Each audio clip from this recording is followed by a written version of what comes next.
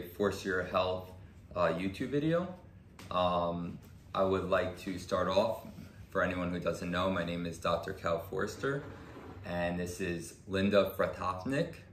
Um, and Linda, I want you to tell the people um, your age, and uh, you know we're gonna take it right right from the beginning afterwards. So just share a little bit about yourself. Okay, I'm uh, I'm Linda Freidhofnik. Actually, I'm Helinde Freidhofnik. Ah. and, um, I'm 88 and a half years old. 88 and a half. Yes, and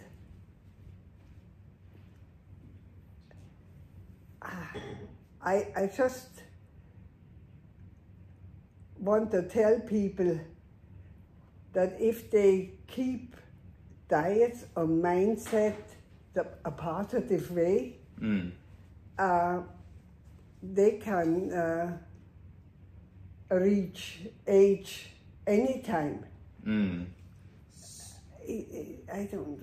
I, Yeah, that's great. So uh, part of the reason why I wanted to interview you today is you're 88 and a half years old. Um, please correct me if I'm wrong, but you have no assistance in walking with a cane or a wheelchair. Um, you are mentally sharp, cognitively aware, have a great memory. Um, please correct me if I'm wrong, but I don't think you're on any medications. Um, and you are fully healthy and vibrant and together, uh, which is really special because most people at your age aren't at that point. And one thing I always bring up is everyone's so focused on lifespan. How old does someone live, right? So you said you're 80 and a half. But what my bo- biggest focus is, is how many healthy days can a person have on this earth? Healthy as in they wake up and they feel good and they can do everything they want to do. And they don't feel like they're trapped by something as, that's prohibiting them through health. So that's called health span. And you have a wonderful health span right now. Uh, so one thing with you is I want to take it back from the beginning. And I want you to explain where you were born, where in the world you were born, um, a little bit about your childhood and what it was like in the beginning. Uh, because as far as I do know, I know you are German, and I don't know if Austrian. Austrian. Okay, so you're Austrian, um, and I want you to let me know a little bit of what it was like back then. Actually, uh, but when I was a child, I was a very happy little child. I was active and moving, and actually, it was very hard to keep me down. And uh, but when I was uh, uh, 12, my parents had a car accident and died, but we went with my grandfather. Both both your parents Yeah. died in a car accident Yeah. when you were 12. Yeah. Wow. I didn't know And um, but my grandfather, not so much my grandmother because she was a business lady, but my grandfather um, was uh, was very uh, firm about thinking what you're doing, and he. Um, did not uh, because I had, and that's another story. I had a little bit something. I would know things that other people did not know. Like what? Like if you would say something, and I actually would pick up that that that, that isn't true. Mm. So you had a gift for Yeah, I don't call a gift. I never called a gift in all my life. I actually asked the. Uh, my, my grandfather actually needed a little help f- for me Mm. by Father Dominic because uh, I did not want that gift. Mm. And so I asked him to take it, go to God because he didn't listen to me. go to God and just take it away from me, you know. He says, listen, you sit down and you, we're going to help you hmm to keep your mouth in, co- uh, in um, in, uh, I think in now Germany, uh, Mm. in uh, Were you living in Austria during this time? yeah. So you were you were in Austria. yeah, and so uh, To what age? they you know, you know, actually I go from stage to stage. That's a, a different story.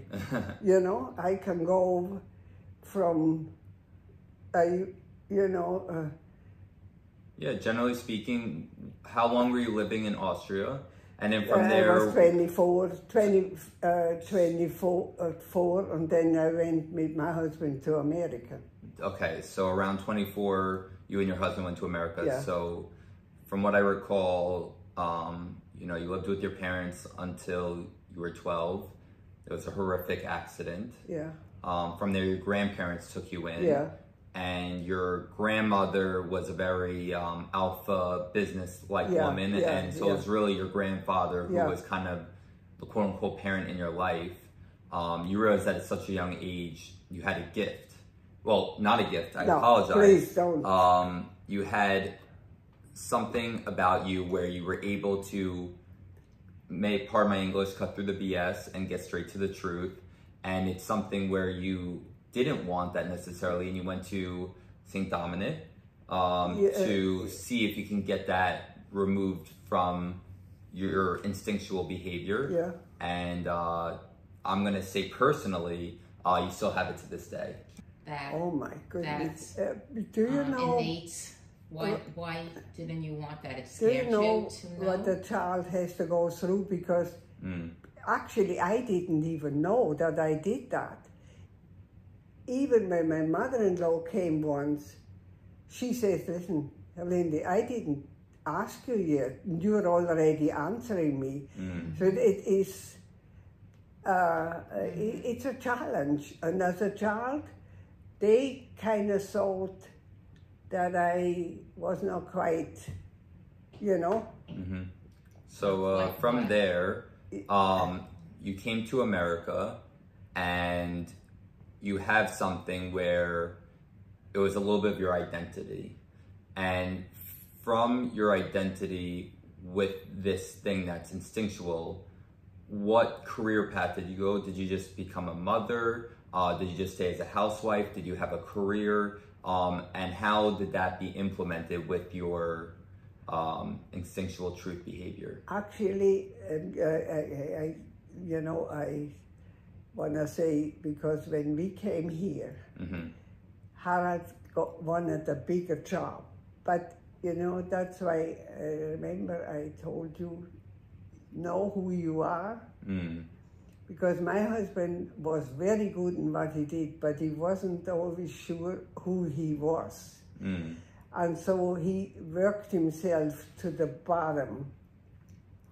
And he could have done that a little different. So I actually was always uh, helping Harald because I would sense when things did not work well in the shop.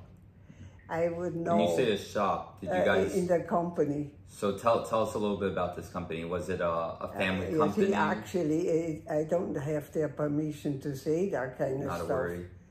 because that would be, you know, uh, uh, they always knew when they had problems they could come to me, Mm. you know. But um, uh, so when uh, when the jobs didn't came out right, I would pray because I am a praying person. Mm. I pray everything, and uh, I I just need God, and because I'm a Christian, I need Jesus and I need Holy Spirit. I need them all. Mm. So let me ask you a question on that. So you're very religious, um, but one thing I realize is religion and spirituality are separate. I'm not religious. Uh-huh. I want a relationship. hmm I want a relationship with Heavenly Father. I want a relationship with Holy Spirit, and I want a relationship with uh, Jesus.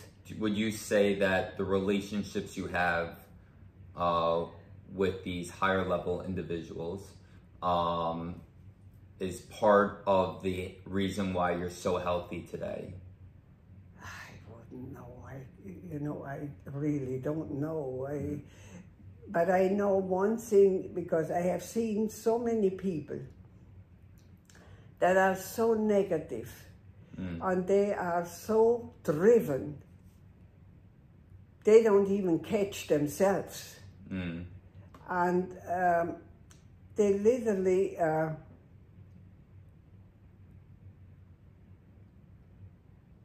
they just live for whatever they can achieve, whatever they can. Uh, uh, most of them are actually want um, recognition from anybody.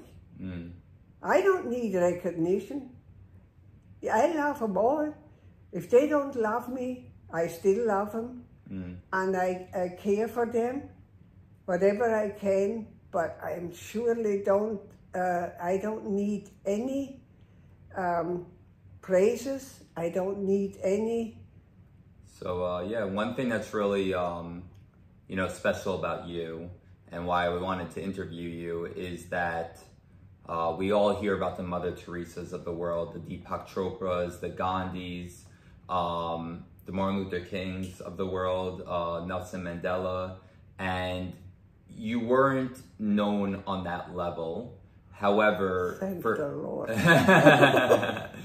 and uh, yes, because I'm sure they had a lot of suffering attached to that kind of representation. But you were able, you are able to tap in on a human spiritual essence that people go through a lifetime never even experiencing one moment of what you live were able to live your life. Uh, you have no ego attached to you. Uh, you live it day by day with appreciation. Uh, you are not going for external goals and realize that all the most special things are within inside of you. Um, and you, it seemed like you didn't have to learn that. Like most people have to go through something really serious and sad for them to get to that. And maybe it had to do with your parents, and maybe that's why you got to that point. But it seemed like at such a young age, you were already miles ahead of everyone in that type of philosophical space. Um, so do you think it was just something you, I know you were born with this truth, uh, but do you think you were born with that kind of egoless part of you that is surrounded by truth and subconscious, or is it something that you mentally worked on every day of your life? Uh, you know, it, I just did my living. Mm. And I, I know that uh, when trouble showed up, uh, I would go and they would call in, the would you help me with And then I would help them, put hands on them, hmm you know, because I could feel. That was another story. I would feel things. I doctor, Can, can uh, you tap into that about the the- feeling? yeah, Dr. Uh, Greg Rubinstein, hmm he was taking care of um, my boss's uh, my husband. I, I was actually uh, speaking to him today, so it's funny you mentioned him. And you know what he said to me? So he said, uh, because uh, the, uh, the uh, Reese's were very um, difficult people. They wanted everything they wanted because they had the money. Mm. and they did not listen very well, you know. And so um, Dr. Greg, because uh, one girl had problems with her thyroid here, and she was so overstimulated, so I put the hands, my fingers there, Mm. and they balanced. And a balance. Yeah. And so uh, So it's kind of the idea where then people. he said to me, um, so he says, I can't do that. Mm. So I said, sure you can do it. Just put the hands there and you will feel wherever it's wrong, Mm. you know? And so that time Dr. Arnold Forster had a little tablet Mm. that he worked and he found more out of whatever is Mm. wrong with the people. Yep. So I got him one, got Dr. Uh, Greg uh, Rubinstein a pa- tablet from Germany. He actually went with her on, a business trip to get that tablet for him. Wow, I didn't know that. And then he he then he says, Linda, would you come with the with the whole family again to Manhattan? I said, No, that's why I got you the tablet. you know, because I needed to get that family off my back. Sure, that's very funny. Uh, so one thing that uh, you know you kind of said without saying is uh, there's a concept called the healing power of touch, and uh, one thing that's really special about having um, you know as a chiropractor and myself is that it's one of the few doctors in the world where you have your hands on the patients. A lot of doctors are sitting, kind of like we are, and the patient talks to them, whether they're a psychologist, a psych, uh, psychiatrist, uh, an MD, and thus forth, an ND, uh, where they just listen. They try to figure out what's going on. Maybe they do a few labs, and then they provide some kind of medicine or supplementation or what forth. And uh, chiropractic is very unique with the point where they actually get to feel the patients. And there's something special in the healing power of touch where the patients seem to get better really quickly with what you're saying. And it's not always around just the muscles, but it can even be around the thyroid and the neck. Um, so you mentioned Dr. Arnold Forster, and I think that's a great segue uh, because you're one of the special patients in Forster Healthcare where you got treated by my grandfather, Dr. Arnold Forster, my father, Dr. James Forster, and myself, Yeah. Dr. Cal Forster. Uh, so I have two questions for you. Um, one is around the concept of I want you to tell the people what Forster Healthcare means to you and your experience, but also the other part of it you're gonna do. Come. Yeah. Come. yes. And the other part is I want you to start going individually through my grandfather, my father, and me, and what the experience has been on an individual level and what each person has meant to you differently. Uh, take your time. I knew right away when we went. Uh, I'm gonna tell you how we got to uh, Dr. Arnold Forster, okay? hmm We just bought a house in sev- 81st Road in Glendale, and my stove broke. And so we, the repairman came, and my neck was so bad, mm. so bad. So he says, You know, lady, I have the best chiropractor that you could ever find. Mm. And he said, and he's in Brooklyn. I would take anyone. I would. I actually took a, a taxi to get to Brooklyn. Mm. It was so bad. Then I got down there. What year was this about? Oh, it must be. You know, he still had the house, and there were young, uh, young chiropractors. And your father was just got out of uh, chiropractic school. You know, So we're talking about maybe the late 80s, Early. early 80s. yeah. And so. Okay. Dr. Forster uh, wasn't in. He had, uh, he was on leave. That time he was on leave when there was something not right with him. He Yes. needed, yeah, Yes, he, he broke his, yeah. yeah. And so a young chiropractor in the basement. uh, there wasn't your father. Oh, oh, No, I it- thought you no.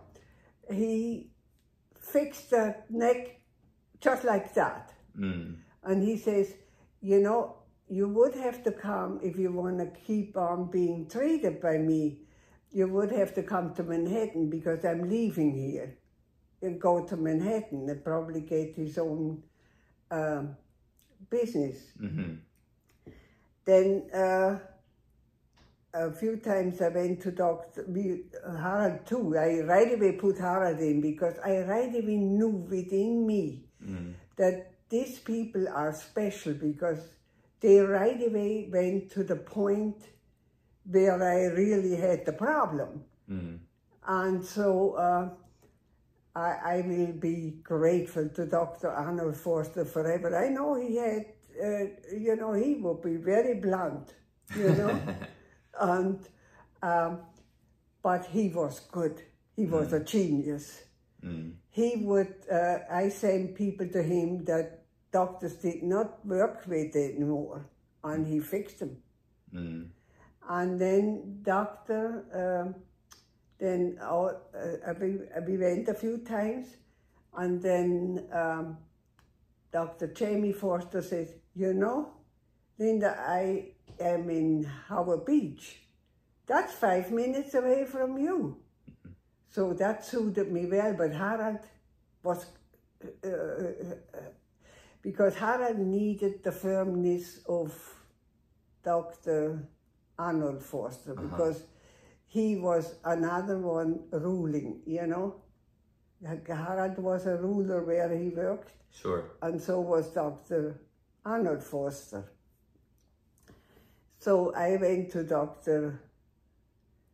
Uh, Jamie Forster, Mm.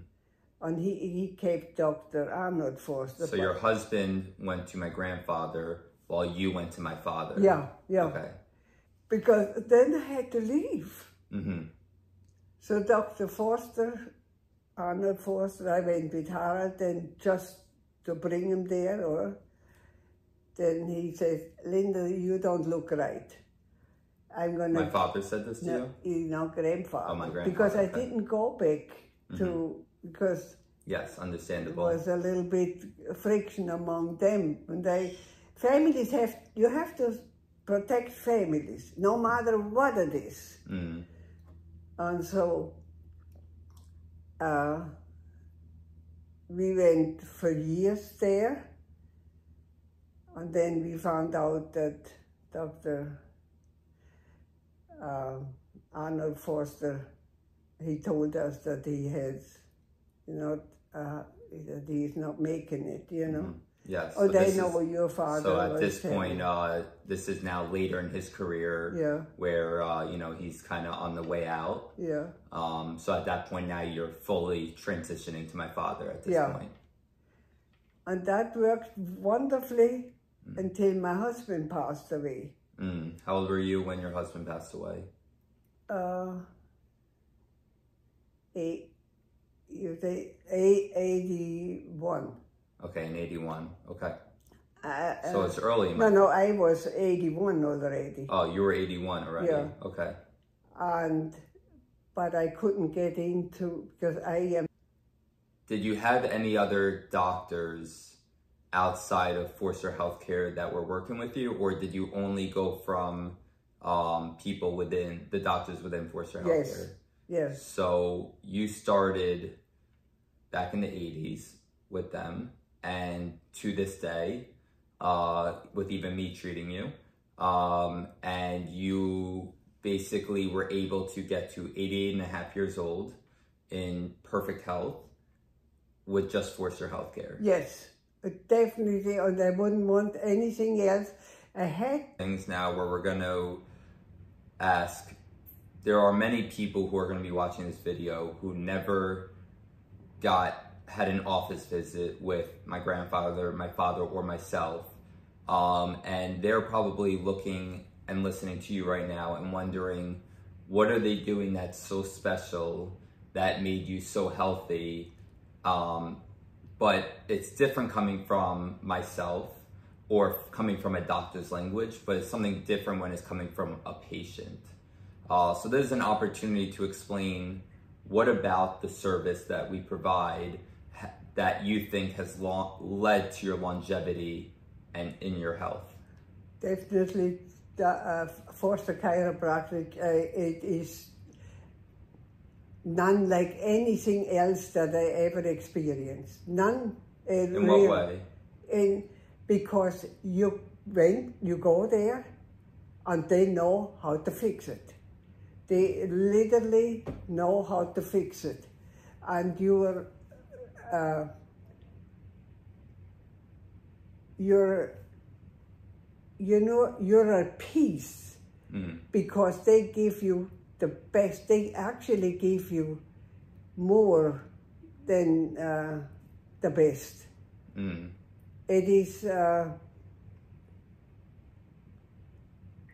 just to think that I don't find a way kind of makes me a little uh, makes me uneasy. hmm But I know I will find a way because he's still in he's still in on the job, Yes, I believe it. and I I really believe that, and uh, I would recommend I I would highly recommend Forster Chiropractic. So, just I am I don't know about other people, you know, other chiropractics, but I don't always hear the best of it, you know, and so um, I only can recommend uh, the Chiropractic. mm, that very that's very humbling to hear, and that's very special.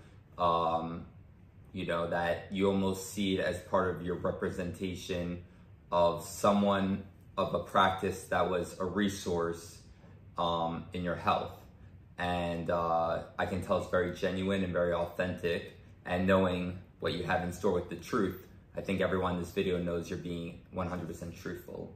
Um, as far as the differentiation between my granddaughter, my father, and me, do you think it's very copy and paste and we all practice the same? Or have you noticed there's an evolution in the practice or that it is cyclical? So maybe I'm a little bit more like my grandpa than my father. In what respect have you noticed a change in the different generations? Um, Dr. Uh, Jamie Forster, uh, literally, uh, you know, that just, I mean, that Dr. Arnold Forster uh, uh, was the same, but Dr. Jamie Forster worked from his heart. Mm. He worked, he was, uh, he was very competitive, that, you know, uh, with his father Mm.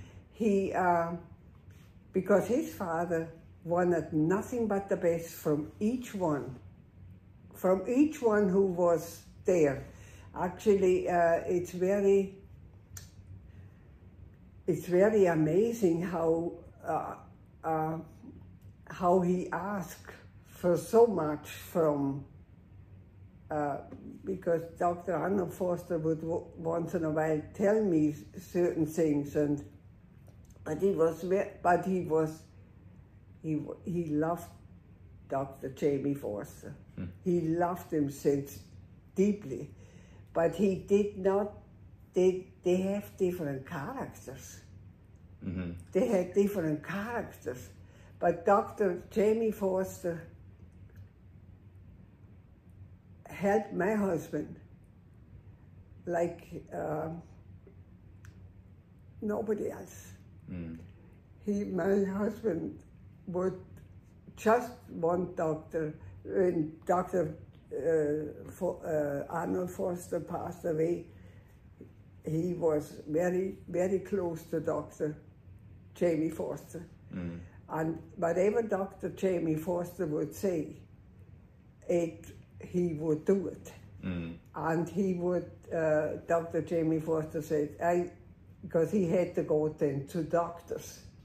And that was the downfall. Mm. So the minute he started going to all these different Yeah. doctors, that was also the, the Yeah. downfall of his He- health. Because he had to, uh, because uh, of his heart. Mm. But Dr. Jamie Forster got him out. One time I went to Manhattan with him with a taxi, and he calmed them down, and he was uh, just right back again. Mm. Because, and then he, he- you know, Dr. Jamie Forster was a lifeline to Harald. Dr. Forster, Jamie Forster said, you, the, you, he doesn't need to come every three weeks. I said, yes, he does. Mm. Because I need that Harald is secure and peaceful. Mm. Because he needed, he needed Dr.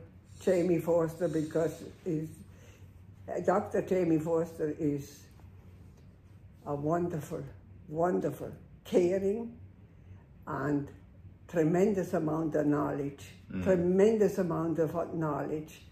And he, I brought people there, but people didn't, you know, people don't want they want everything through the Medicare or whatever it is, but you can't get this kind of This Uh, type of care. no. Yeah, it, it is special. Um, and I do notice that once patients get exposed to this type of treatment, um, it's hard to unsee what you see. Uh, so it is that type of special work.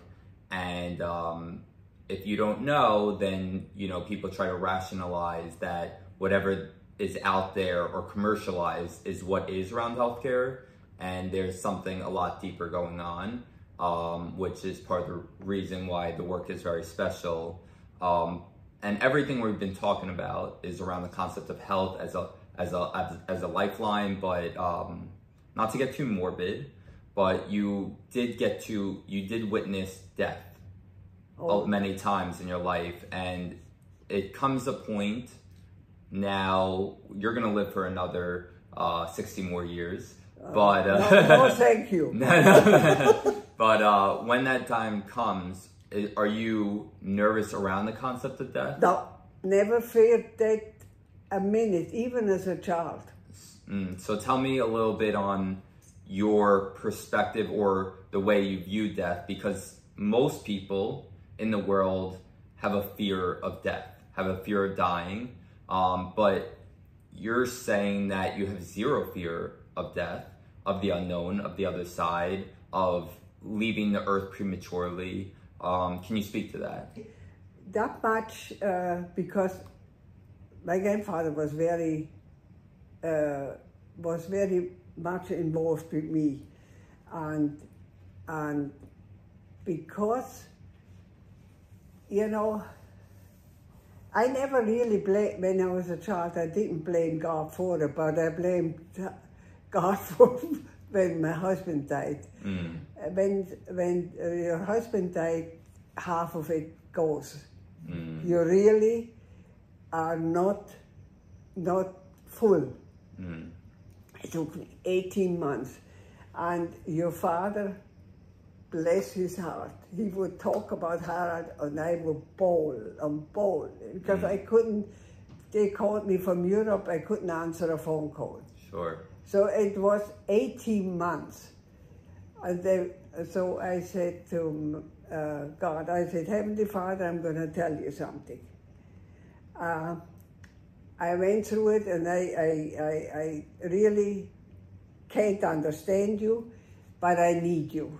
And the minute I said that, I, peace flew over me again. Mm, So I had my peace. So I, I actually would recommend everyone, because everyone knows that there is a God. mm, And if you can keep close to that, uh, I think you can master anything. mm. And you wanted to ask me what? Yeah, so the, what I was trying to ask you is you don't have a fear around the concept of death for yourself. That if it happened yesterday for you, or if it happened 30 years from now for you, you're at peace either way. Yeah. And that's, you're one of the few who truly means that when, when that's being said. Um, how it, can you explain the philosophy around how you view death and why you're so accepting and okay around it? As I got older, but maybe this maybe doesn't fit in too well, you know, because I um, I went once to a meditation class, you know, because uh, Dr. Remling lived up the block. We went every week before we found Dr. Uh, Arnold Forster. Mhm. And he said, you know, Linda, because I worked for the ambulance, I was an EMT, and um, he says, you work yourself up because we had to carry patients sometimes from third floors down.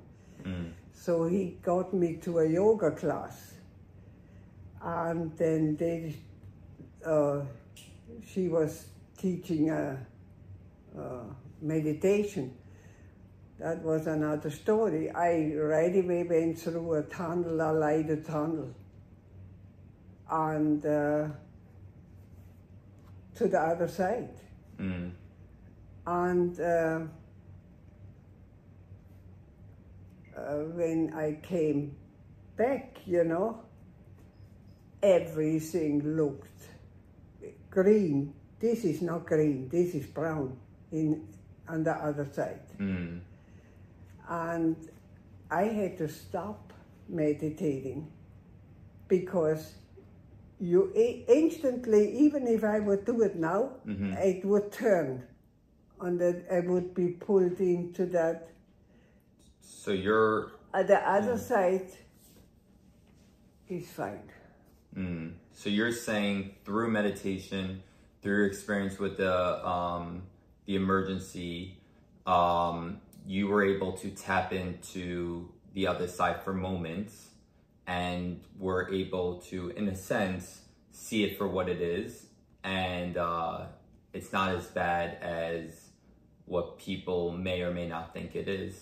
And you were, and you, at, through any moment, if you wanted to meditate, you can get into a deepness, kind of like in sleep. There's light sleep, there's deep sleep, there's deep REM sleep, and uh, you can kind of get into that phase where you can tap in and see the other side. Actually, instantly it it started starts turning, and that's why I don't even start it because you have to come back here. Mm. And this one, this side is not that. The other side is better. The other side's better. Yeah. Um, are you able to share anything um, of what the other side looks like? Anything that you can express into words? You know, I, I really tell you, uh, my, my, my life was always a little bit different. Everybody else's. But, you know, that, that that's Linda. You know, that's Linda. And so I, I'm, whatever it is, I, as long as I'm here, Mhm. I will do my best and I will, uh, uh, So while you're here, there's one of the concepts of, of longevity is around the concept of having a purpose in this life. Obviously, you know what my purpose is. oh yes, Um, definitely. and uh, you know, my mother's is around the concept of being a professional artist and also as a wife and a mother. Um, you were a professional wife, and you still are. Um, besides family, um, what other purpose did you think you have on being on this earth that you feel you played a role in? Actually, I I really believe that I was always helping people, even over here. My husband said, in Queens, everybody would come to Linda, even little things. When they had boo-boos, they came and I had a plaster and I had a little bit natural stuff. I think I was I was brought into this world to be helpful. Mm. And uh, you see, I would never be good in anything that is. Uh, uh, Logical? You're, uh, what word are you thinking of? I never really wanted to achieve uh, uh, all kinds of things. I was happy when ha- my husband could get through what he was doing because he loved his job. But uh, Yeah, so it seems like uh, you know you truly enjoy you're truly enjoying the journey of life. Um, you realize there's no starting or stopping. There's no quote unquote um, goal at the end at the at the end. It's always a continuous process, and um, it's one of those things where you're not. It goes back. You're not. You're not attached to any any external um, incentives. Uh, because it seems like you have all the happiness and peace from inside. Um, so one thing, gets it. He so just one, so uh, one thing I would ask you is, you wake up in the morning, and I would love for you to take us through your day. What's do you do you wake up and have a prayer or a thought in the morning? Do you go and eat breakfast first? Uh, take me through a Linda day of Linda's life from the minute she, she the minute her eyes open the minute I wake up, I thank God for protecting me all during the night. And I will say, Heavenly Father, what are we doing today? Jesus Christ, what are we doing today? Holy Spirit, what are we doing today?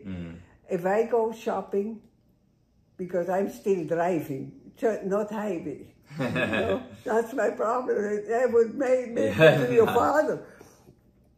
Then I would say, today we are going to shopping.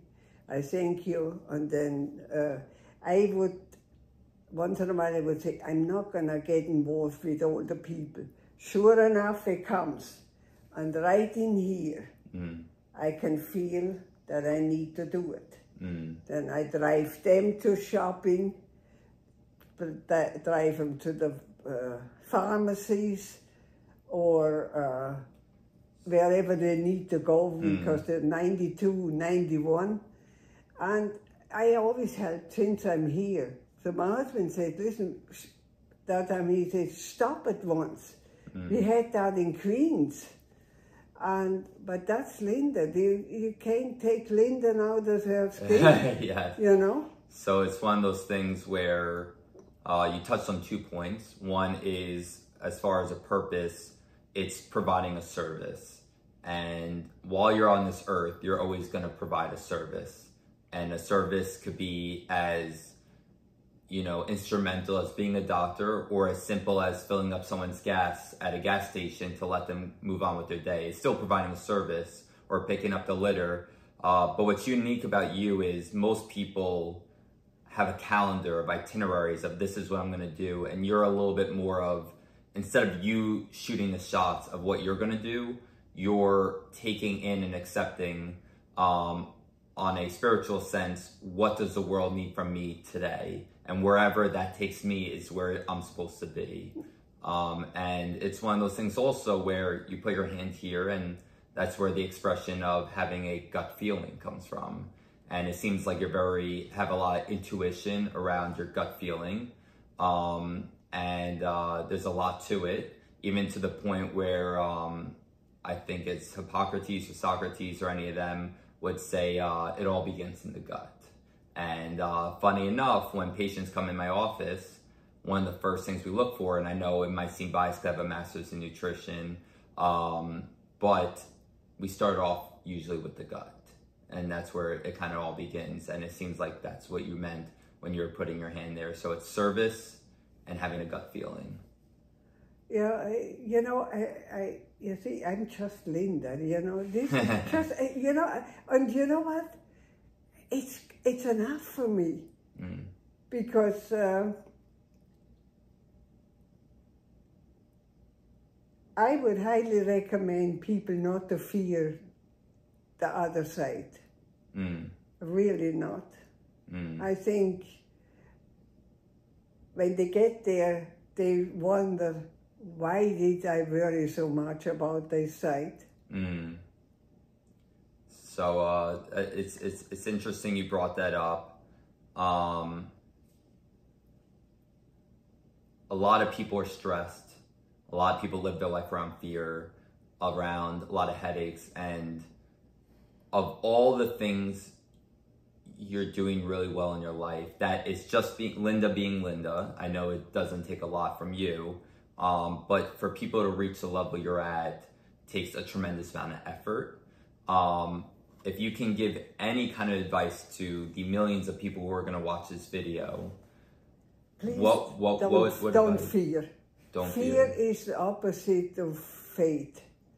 Have faith in everything you do. You Mm. can get all the help you need. You just have to say, listen, I need your help. Show me what to do. Mm, So and, uh, when things get very critical, uh, I have someone that has a hard time because they are drug addict. You know, the family is traumatized. I said, you know what? I would. Uh, I went. I go, Heavenly Father. I don't know what to do with this. mm, Here, uh, lay it in my hands and say, I give it to you, and I'm not picking it up anymore. mm, And I, I, I know you will take care of it. I thank you for it. I praise you for it, and I love you. Mm. And fear is, uh, I actually meet people, they are so afraid of everything. Mm. I'm afraid of nothing. Afraid of nothing. I don't like like certain things. I don't like to go on the highway because it is uh, a rat race to go on the highway. Uh, but that's not fear. It's just my inadequacy to handle that one. Because, but I don't fear.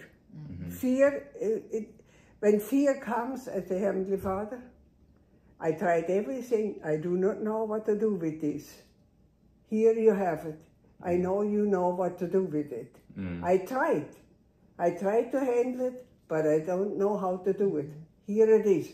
And I drop it and leave it there, and it mm. takes care of itself. Mm. So I want to bring it down to one of our last questions, and uh, it's definitely a very interesting question. But one thing about fear is I heard a great line about fear, and uh, it really resonated with me.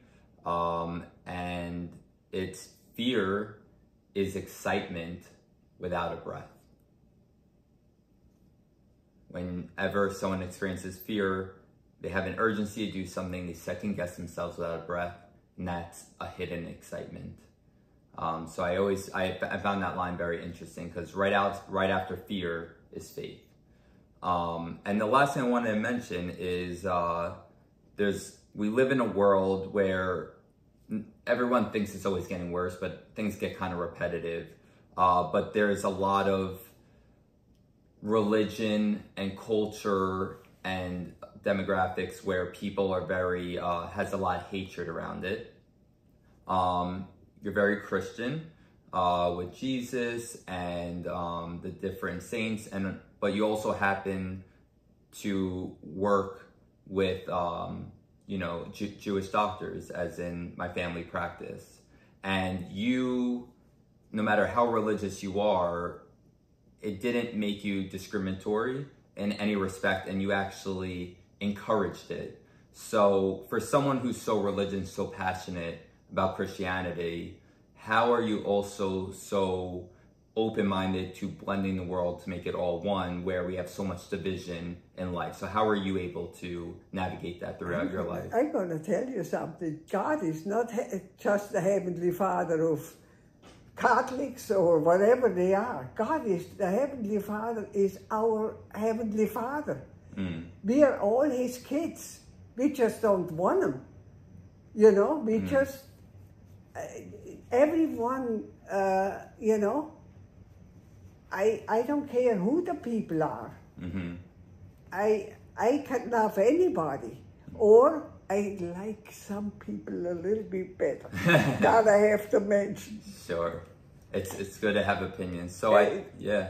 So I think um, you know, tell me if I missed something, but what we gathered here today is don't have fear, have faith. Um, be truthful, provide a service, and to be open-minded that death is actually a beautiful thing on the other side. There's no rush of getting there, but it's not something we have to avoid wanting to get there one day. And um, there's value in healthcare to find the right doctor for you. Oh yes, and I recommend Forster Chiropractic. I was, uh, I really. Uh, otherwise, if I wouldn't believe that, I wouldn't have been. We wouldn't have been there that long. Mm.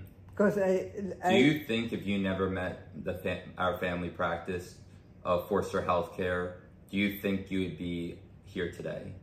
I I don't think so because I have seen uh, when Harald had to use doctors how fast you can slip because medication. I had uh, I had to give it up. I had a PDR was that thick. I mean that much it helps. Two pages it really takes your life. Mm. I, if people can get away, because people always think a little pill or little that would help them. It doesn't. Mm. Just learn how to, uh, because within your body, is is a healer. Mm. The healer is within you if you allow him to work. Mm. You know? That I think that's a wonderful way to ending it. The healers within ourselves. Yeah. Thank you, Linda. I appreciate it. It was a perfect Thank you. interview.